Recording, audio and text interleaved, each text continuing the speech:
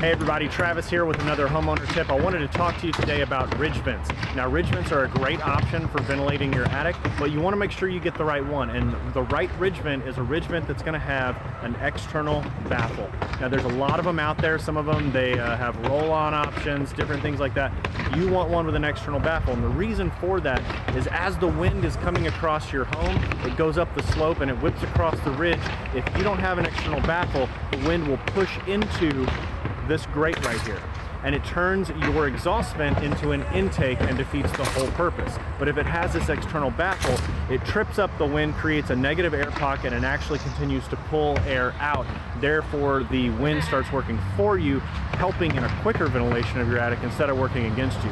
Uh, these are a great option, but only if you buy the right one. Uh, GAF makes them, Lomanco makes them, AirVent makes them. Uh, there's a lot of great options out there, but only with an external baffle. All right, this is Travis with another, with another homeowner tip. Check out our website for a free inspection today, where we're happy to come and give you a roof replacement if you know you're ready. All right, I'll see you in the next video.